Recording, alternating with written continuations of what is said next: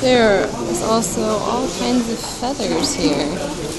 So if you want feathers to trim anything to make Halloween costumes or hats or I guess any other kind of accessory, there's tons of feathers here on a cord so you can just sew this into anywhere I guess.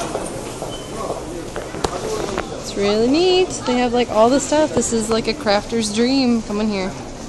My mom already told me that she wants to come here. So I should probably oblige and, you know, drag her out here. Got a bunch of swag already.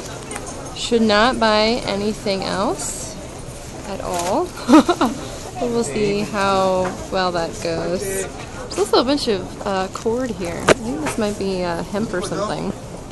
Hemp or linen. Linen. Linen. Maybe. I don't know.